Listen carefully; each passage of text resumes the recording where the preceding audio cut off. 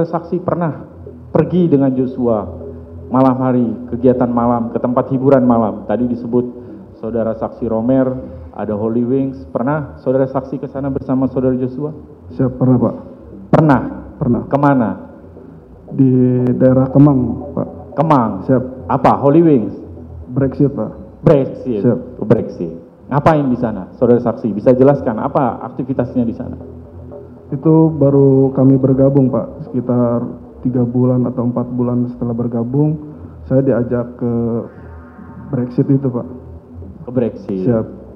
Berapa orang waktu itu pergi ke sana? Seingat saya, saya sama almarhum Yosua saja Pak. Hanya berdua Siap. waktu itu.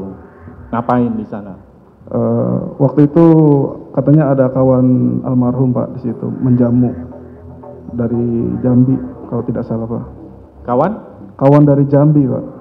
Kawan dari Jambi. Siap. Mau menemui kawannya dari Jambi, Siap. bertemunya di Brexit pada waktu itu. Siap. Ketemu sama kawannya, Eh, ketemu Pak. ketemu. Terus Siap. apa aktivitasnya di sana?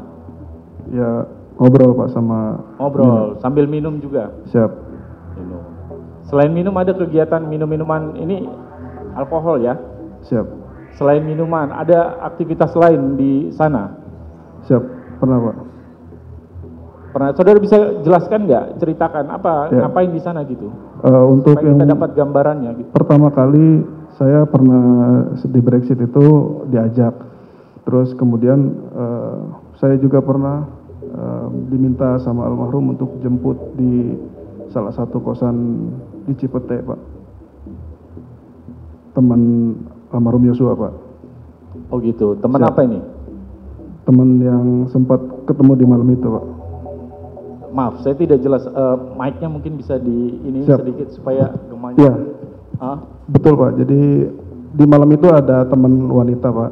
Terus eh, beberapa kesempatan juga saya diminta untuk jemput di Cipete, salah satu kosan Pak. tahu namanya, temannya. Saya tidak ingat Pak namanya. Pernah diajak dan bersama Joshua ke tempat hiburan malam. Siap, sering diajak. Sering itu sekali seminggu atau sekali sebulan atau seperti apa? Kadang setiap malam minggu diajak Itu ke mana, saudara saksi? kita ke Brexit Brexit di mana? di Kemang. Biasanya pergi jam berapa? Jadi kalau kita pergi itu biasanya kalau kita tunggu ibu atau bapak sudah tidur baru beliau ajak, ayo mandi. Ke mana bang? Udah kita tenangin otak dulu katanya. Ke mana bang? Udah tinggal ikut aja. Itu yang bayar siapa? Om Joshua bapak. Om Joshua. Berapa kira-kira eh, dari yang saudara saksi ketahui, eh, berapa satu malam itu membayar untuk ke Brexit Kemang? Pernah habis paling besar itu bisa sampai 15 jutaan. 15 juta paling besar. Siap. Kalau paling kecilnya kira-kira berapa? Palingan 5 jutaan. Oh 5 juta ya. Siap. Waktu di Brexit Kemang, eh, saudara mengetahui nggak ada nama lain dari eh, saudara Joshua? Siap. Jadi kalau di Brexit itu biasanya ada abang-abang lain yang muncul kayak Alphonse atau Om Yogi termasuk terdakwa, terdakwa Richard, terus Om Sadam. Mereka datang tiba-tiba. Terus ada satu perempuan yang biasa di bersama Om Joshua. Lepas tidak ada tugas, apakah pernah beraktivitas bersama dengan saudara Joshua? Jarang, Pak. Jarang, tapi pernah. Pernah, Pak. Pernah. Aktivitasnya apa biasanya kalau bersama saudara Joshua di luar tugas? Ngobrol-ngobrol aja, Pak, di depan Saguling. Di depan Saguling. Ya, Kalau selain di Saguling, di Duren 3 dan di Rumah Bangka, apakah saudara saksi pernah pergi dengan saudara Joshua? Nggak pernah, Pak. Gak pernah ya? Iya, Pak. Apakah saudara- saudara saksi pernah mengetahui atau mendapat informasi bahwa saudara Joshua eh, pernah bepergian ke tempat hiburan malam atau aktivitas kaitannya dengan eh, hiburan malam? Cuma mendengar saja, Pak. Mendengar dari siapa saudara saksi mendengar? Dari cerita-cerita Ades yang lama, Pak. Adisi yang lama siapa itu namanya? Yang lain, Pak, pada cerita, Pak.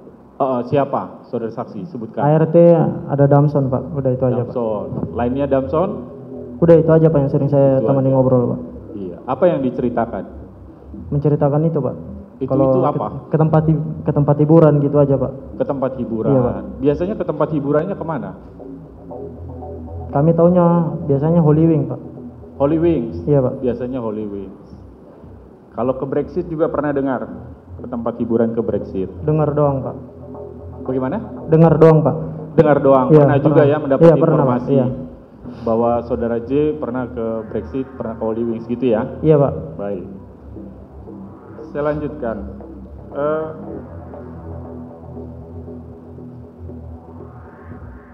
kalau saudara saksi sendiri, oh tadi tidak pernah menemani ya, Pak. pergi ke sana ya? Saudara saksi, eh, saya ingin bertanya tentang interaksi saudara saksi dengan eh, saudara Joshua. Di pemeriksaan Apsifor halaman 39, Siap. saudara pernah menjelaskan, ini saya konfirmasi ya, Siap. pernah menjelaskan pada psikolog forensik tentang eh, karakter Joshua. Bisakah saudara jelaskan? Siapa Pak? Jadi kalau untuk karakter Om Joshua itu orangnya itu kadang-kadang temperamen. Dia kadang-kadang kalau saya lagi duduk di depan rumah, dia datang kayak marah-marah sendiri gitu. Terus saya tanya, ada apa lo Jo? Kan saya panggil namanya lo Jo. Ada apa lo Jo? Tapi dia tidak omong apa-apa, dia langsung masuk ke dalam lagi. Tidak ada bicara apa-apa.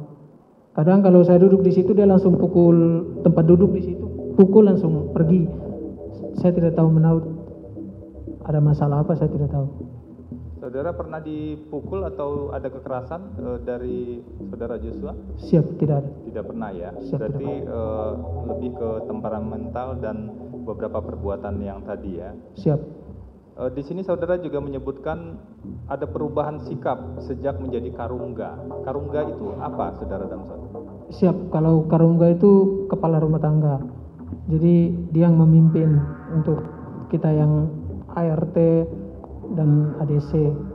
Jadi untuk segala tanggung jawab itu kita keperluan semua kita serahkan ke Om Joshua, kita tanya ke Om Joshua. Perubahan sikap seperti apa setelah menjadi karungga? Ya Om Joshua lebih kayak menguasa lebih ber- kayak pemimpin gitu. Dia lebih beda. Ya kan biasanya di Jakarta. Kalau Yosua sendiri gimana sih sifat-sifatnya Yosua kalau menurut saudara? Kalau menurut saya dia, dia apa suka marah-marah gitu kan. Tem- apa sih namanya? temperamental. Terus apa? Kalau saya minta tolong untuk anuin belanjaan, dia selalu menunda gitu kan. Terus kalau dipanggil ibu selalu lama, terus kadang ngedumel gitu. Apa sih bi? Apalagi gitu. Om maaf Nah. dicariin ibu. Sering biasa- gedumel dengan yang lain-lain juga seperti itu. Kalau seperti saya, saya tidak tahu kok yang yang